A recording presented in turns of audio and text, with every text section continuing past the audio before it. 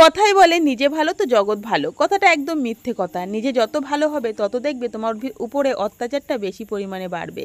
তুমি যতই ভালো ব্যবহার করো না কেন, তখনই ভাববে যে, এ তো ভালো ব্যবহার করছে, দিনের পর দিন আমরা যতই খারাপ ব্যবহার করছি, এ তো ঠিক ভালোই আছে, তো একে যত পারব ততই এর সাথে অত্যাচারটা চালিয়ে যাব। এরকমই হয় আজকালকার সমাজে।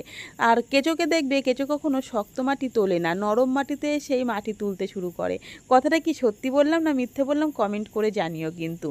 চলো আজকে দুপুরবেলা রান্নাবান্না বসিয়ে দিয়েছি। আজকে একটু জ্ঞানী জ্ঞানী কথা বললাম, হয়তো এখানে অনেক রকমের কমেন্ট আসবে। অনেকে হয়তো লিখতেও আসবে, অনেকে হয়তো মুখে মুখে আলোচনাও করবে এই কথাটা নিয়ে। তো যাই হোক, তাতে আমার কোনো যায় আসে না। আমি রান্না বসিয়ে দিয়েছি, আজকে দেখে বুঝতে পারছ এটা কি বলো তো এটা কচু শাক। হয়তো অনেকে বুঝে গেছে, অনেকে হয়তো বুঝতে অসুবিধেও হচ্ছে, সেই কারণে আমি বলে দিলাম এটা কচু শাক রান্না করছি।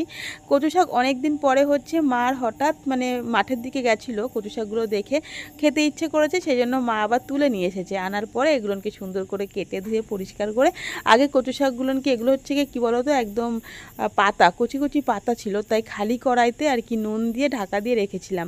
রেখে দেওয়ার পরে দেখো এরকম পরিস্থিতি হয়েছে, বেশ সেদ্ধ টেদ্ধ সুন্দর হয়ে গেছে, একবারে লঙ্কা দিয়েই বসিয়েছিলাম। তো তারপরে এই কচু শাকটাকে আমি নামিয়ে নেব, নামিয়ে কড়াইটাকে সুন্দর করে ধুয়ে তারপরে আবার সোমরা দেবো। তো চলো আর দেখতে পেলে আরেকটা গামলাতে জল বসিয়েছি, কারণ ডাল রান্না করতে হবে, তো সেই জন্য ওই কড়াইতে এক গামলা মানে জল বসিয়েছি জলটা দেখো ফুটে সুন্দর গরম হয়ে গেছে, নামিয়ে রেখে আবার ডালটা দিয়ে দিয়েছি। আজকে ডাল করব কচু শাক করছি আর কি কি করছি সঙ্গে থেকেও দেখতে পারবে তাহলে। আজকে অনেক কিছু সরঞ্জাম মোটামুটি করেছি। তো এখানে হচ্ছে গিয়ে কচু শাকটা দেখো আমি মানে দেখাতে পারিনি তোমাদেরকে, রসুন ফোড়ন দিয়েছি। মানে কড়াইতে তেল দিয়ে তেলটা গরম হওয়া মাত্রে রসুনটা দিয়েছি, একটু বেশি পরিমাণেই রসুন দিয়েছি। রসুনটা বেশ যখন একটু মানে হালকা বাদামি কালার হয়ে গেছে তখন আমি কচু শাকগুলো দিয়েছি, দেওয়ার পরে দেখো সুন্দর করে নাড়িয়ে চাড়িয়ে, এই যে এই মুহূর্তটা আমি একটুখানি মুখে দিয়েছিলাম, দেওয়ার পরে হালকা পরিমাণে গলা ধরেছিল। তারপরে আবার বেশ ভালো করে কিছুটা মানে নাড়িয়ে চাড়িয়ে একদম মানে তোমার কি বলব, গ্যাসটা লোতে রেখেছিলাম, একদম মানে হাই করে দিইনি, কারণ তলা থেকে একদম পুড়ে যাওয়ার ভাব থাকতো।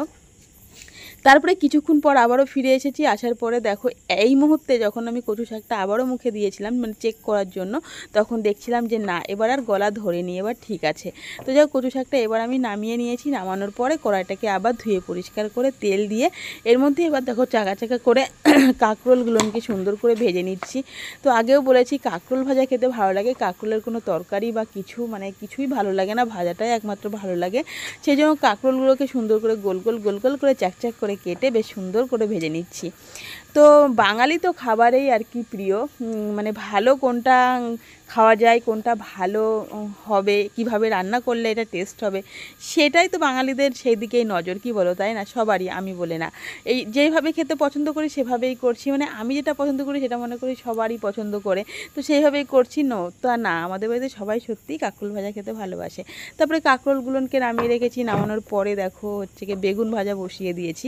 তো এরকম বেগুন ভাজা বেশ সুন্দর সুন্দর করে বেশ হালকা জালে বেগুনটাকেও ভেজে নিয়েছি লাল লাল করে। আজকের খাবারটা কিন্তু বেশ সুন্দর ছিল। মানে বাগানের কচু শাক ছিল সাথে মাছের মাথা দিয়ে ডাল আর এই যে ভাজাগুলো। আর দেখো, কয়েক টুকরো মাত্র আলু। আলু বেশি ভাজছি না কারণ আলু ভাজাটা খুব একটা সবাই ভালো খাবে না। আর এটা হচ্ছে সোনা খাবে কারণ ও কাঁকরোল ভাজাও খাবে না, বেগুন ভাজাও খাবে না। সেই জন্য ওর জন্য আলুটাকে আমি সুন্দর করে ভেজে নিচ্ছি। আর আমি ওকে দিয়েছিলাম মানে খেতে যখন দিয়েছিলাম সব কিছু সুন্দর করে গুছিয়ে দিয়েছিলাম। কিন্তু ও হচ্ছে সব কিছু রেখে দিয়েছিল, শুধুমাত্র ডাল দিয়ে আলু ভাজা দিয়েই খেয়েছিল আর কচু শাকটাও খেয়েছিল। কচু শাক খেতে চায় না, তবে আজকে আমি বলেছিলাম, একটুখানি খেয়ে দেখ, যদি ভালো লাগে, খাবি, ভালো না লাগলে রেখে দিবি। ও খেতে খেতে খেয়েই নিয়েছে বলছে, না মা, আজকের কচু শাকটা খুবই টেস্ট হয়েছে। তো ওর মুখে শুনে তো আমার খুবই ভালো লাগছে। স্বাভাবিক কথা, সন্তানের মুখে ভালো শুনলে তো মায়েদের মন ভরেই যায়। তো আমারও সেটাই হয়েছিল, তারপরে দেখো এরকম মাছের মাথাটাকে সুন্দর করে মানে কাত কুত করে উঁচু নিচু করে সব রকমভাবে আর কি মাছের মাথাটাকে মানে ভাজা করে নিচ্ছি। এবার দেখো, বাবা ভাঙতে চাইছে না, তবুও জোর জবস্তি আমি মাথাটাকে ভাঙার চেষ্টা করছি। বেশি একটা টুকরো করে দিইনি, কারণ ডালের ভিতরে বেশি কাটা কাটা হলে কিন্তু ভালো লাগে না। ডাল বলে কি?